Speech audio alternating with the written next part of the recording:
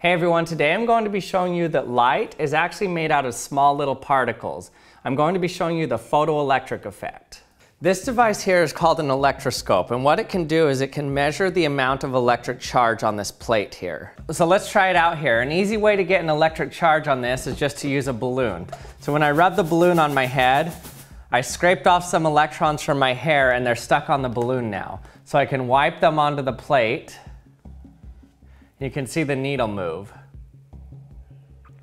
So once it stops bouncing around, you can see that it settles at about that spot.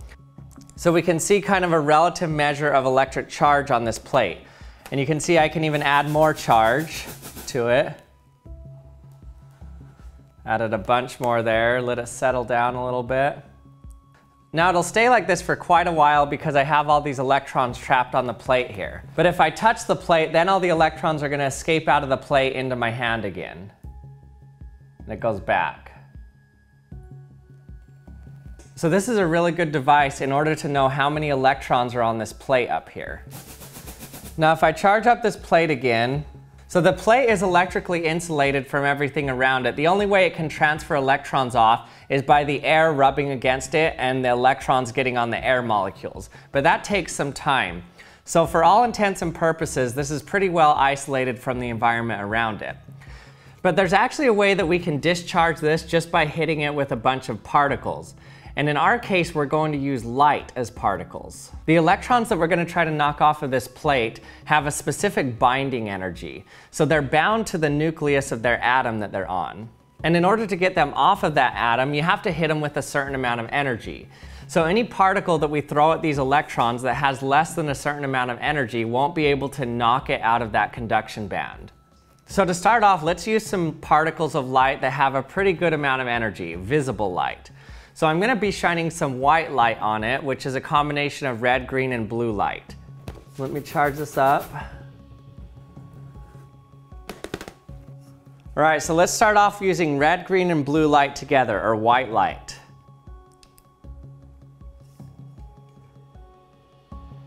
Doesn't look like the needle's moving at all. Let's go higher in our lumens here. So this is this is 2000 lumens shining on it. So we have plenty of light, a ton of energy going into this.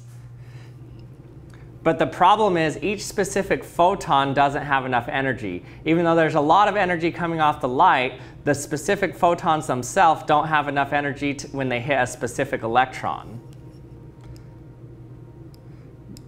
Brighter.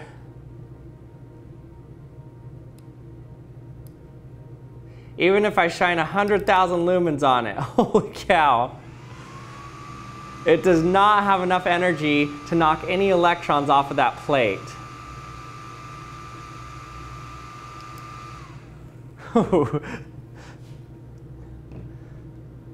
so this did not move whatsoever, even when I shine 100,000 lumens on it of visible light. That's because red, green, and blue light simply don't have enough energy when they hit an electron to knock it out of that shell. Let's try something that has a little bit more energy, ultraviolet light. So this is long wave ultraviolet light. So even this long wave ultraviolet light doesn't do anything. We're gonna have to go with a little bit higher energy light, short wave ultraviolet light. This is also called UVC light. This is the type of light that'll give you a sunburn. So now watch when I turn on this UVC light. So this has a lot more energy per photon released. Here we go. You can see that it immediately starts moving. So we're literally knocking electrons off of this plate with this light now. So it completely discharged it. Watch this again. Charge it up a ton. Can see nothing happens when I move it over without the light on, but as soon as I turn the light on, it just drains it.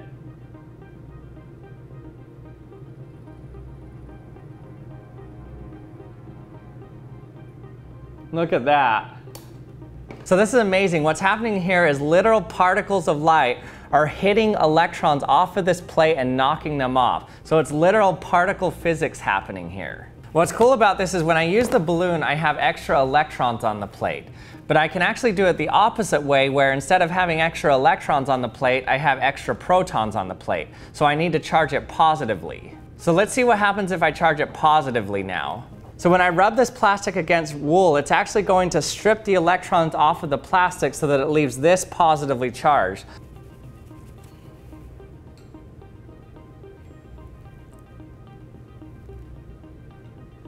Now these positive charges, they can't be knocked loose as easy as these electrons because the positive charges are really large. They're the protons in the nucleus of the atoms. Let's try to discharge this with the UV light now.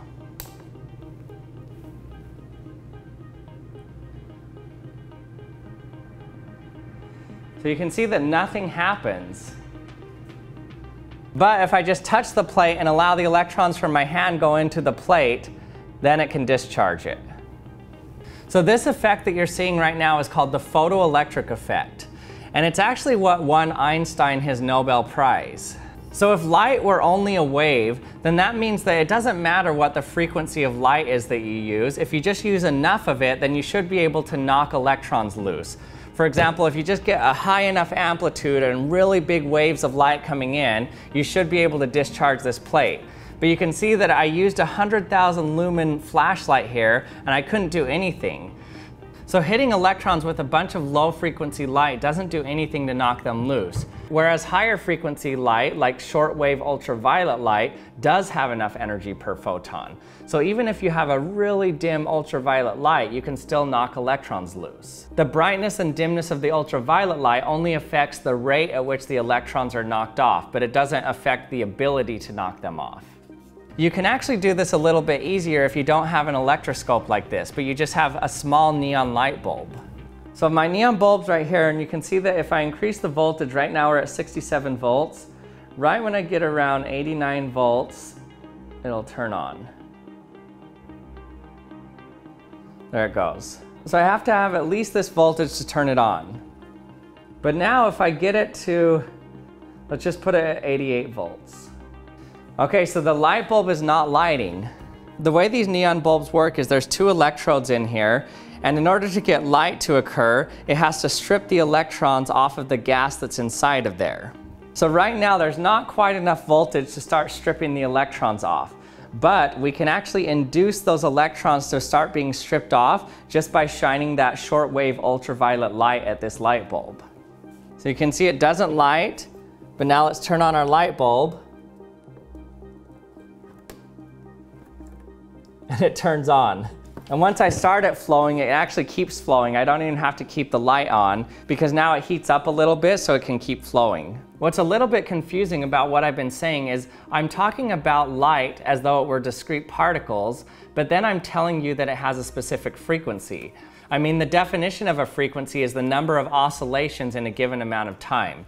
But I'm talking about a particle. How does a particle have oscillations if it's not a wave? Well, to understand this, we have to understand what a particle even means. How do you define a particle? Now this is gonna sound weird, but the actual definition of a particle is the possible smallest vibration of a quantum field. And the photon, like the photons of light I've been talking about, is the smallest possible vibration of the electromagnetic field. And then there are even other fields. For example, a quark is the smallest possible vibration of a quark field. So that's how a particle can still have a vibration because we're still talking about a vibration of an underlying field. But the vibration of that quantum field manifests itself as a discrete particle. This is why we have the wave-particle duality, why sometimes light can appear as a wave and also appear as a particle. Now, whether we talk about something as a wave or a particle kind of depends on its wavelength or its frequency.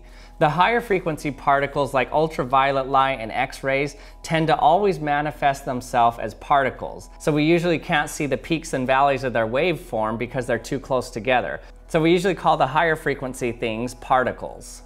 Whereas particles with lower frequency, we usually just always call them waves. For example, radio waves have an extremely long wavelength and a low frequency. So we usually only see their wave properties and never their particle properties. In fact, we've never even been able to detect a particle of radio wave because a single photon in the radio frequency has such low energy that we can't detect it. And thanks for watching another episode of the Action Lab. I hope you enjoyed it. If you did, don't forget to subscribe if you haven't subscribed yet, and you can hit the bell so you can be notified when I release my latest video. And check out the Action Lab Shorts channel as well. It's where I do similar experiments to this channel, except they're a lot shorter. I do them in less than a minute. And also I'd like to thank Brandon Fisher for suggesting that I do this video. He sent me some good links on this and suggested that I should do a video on the photoelectric effect. And I'll also put a link in my description to an Arbor Scientific video where they do the same experiment and they show you how to use the materials that I use and where to get them as well if you want to try it yourself. And thanks for watching and I'll see you next time.